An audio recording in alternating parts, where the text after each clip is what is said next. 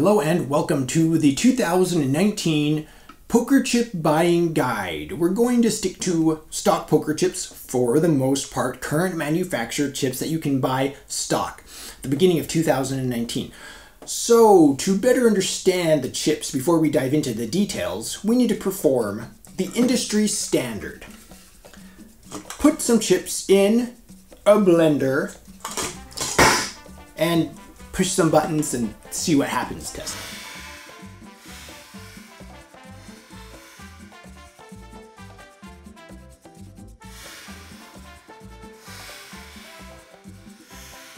Look at the damage here. When I say don't try this at home, I mean it. This is the second blender I've broken doing a poker chip review. It's almost like these blender manufacturers aren't thinking of poker chip reviewers. For the purposes of this video, I'm going to divide chips into four major categories. We're going to have our premium compression molded chips, china clays, ceramics, and metal slug ABS chips, along with plastic chips, together in the same group.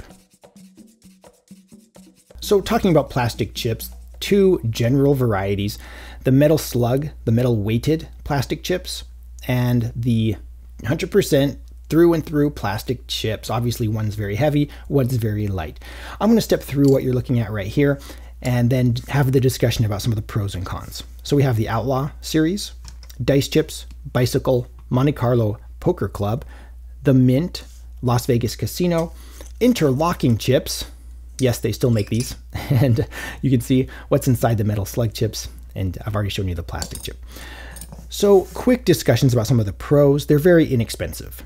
You need a whole bunch of chips for not much money. It's easy to find these all over the internet for not much money. There's also quite a huge selection. This represents a very small percentage of the available designs out there. And the other thing that I really like about these is they are durable. You put a huge metal slug in plastic, it's going to prove to be pretty durable. Yes, the labels, these are sticker labels, can be, depending on what you're getting can be a little sensitive. They can also be misaligned. And that kind of segues right into the cons. If the labels are misaligned, then it will create a high spot on the chip and you can have some flatness issues.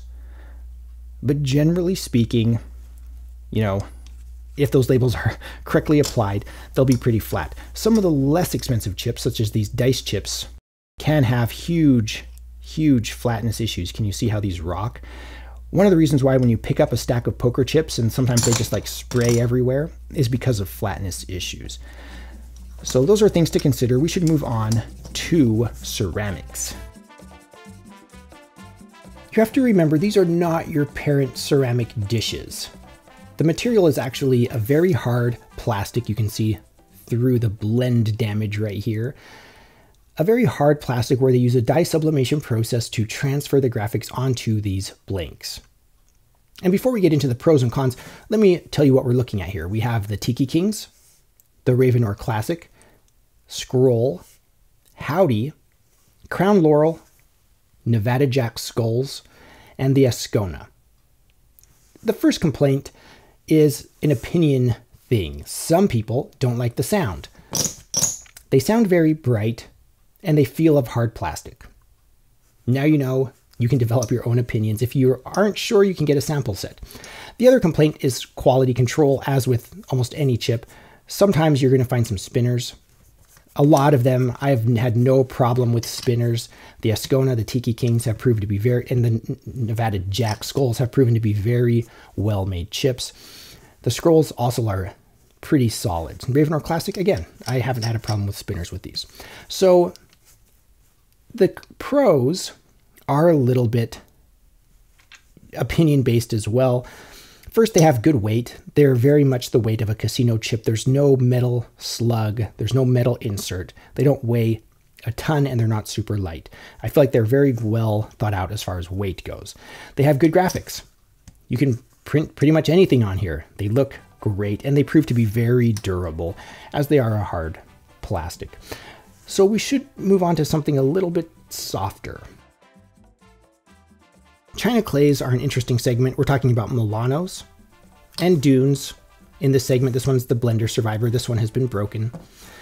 And These are soft plastic. Uh, it's one of the cons that I would say, and I would use to describe this. The plastic they use releases VOC, volatile organic compounds. It smells like PVC. And you can see there's no metal insert, not weighted. The material itself is a heavier material, so they feel similar to a casino chip with a reasonable texture. Sometimes there will be label issues. The biggest problem are slightly off-centered labels that will cause rocking or chips that are not flat. Sometimes it's just the label that does that. Again, they have a good texture, so and they can be a little bit soft. They also attract dirt, like a normal casino chip would. These are not used in casinos, but they do attract dirt. And there's not a huge selection of these out there. On the opposite side, they have a good weight, a good feel, and the cost can be much less than a casino grade or a high-end premium compression molded clay chip.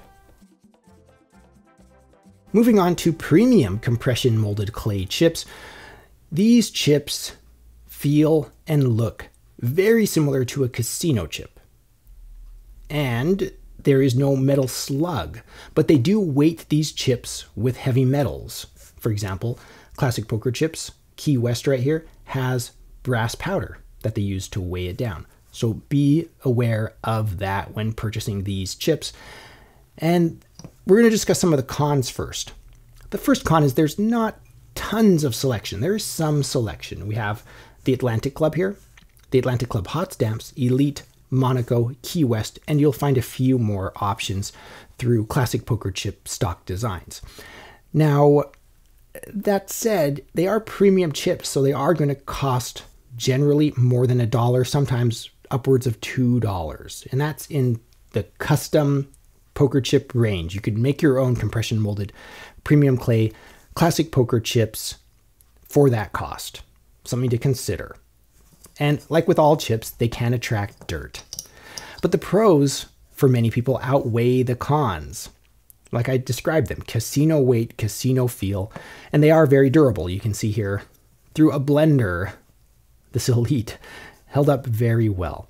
The other thing to consider is that they have these true inlays. These are not sticker labels. These do not just peel out. Your five-year-old isn't going to get his or her fingernail underneath these and peel these off. So what are my favorites? These are my top 10, and think of this as just my opinion to kind of get you pointed in the right direction so you can make your own decision.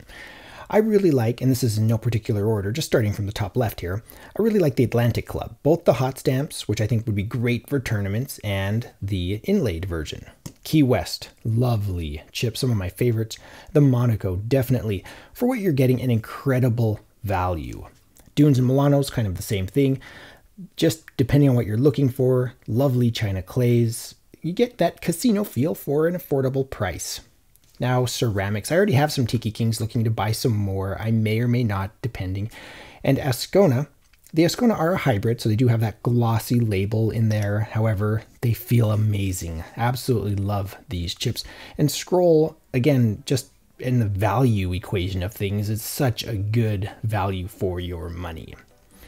The Outlaw series is one of my favorite Metal Slug chips, along with Monte Carlo Poker Club. Ooh, shiny. I hope this was helpful. We are sponsored by PokerChipForum.com. One of the best tools is the Poker Chip Calculator. If you're wondering how many of each denomination you should buy, definitely go to PokerChipForum.com and use their Poker Chip Calculator. And if you visit the affiliate Amazon shop in the link in the description below, I make some proceeds from every sale that goes through that shop. Thank you so much for watching. Please subscribe. My name is John Hobby.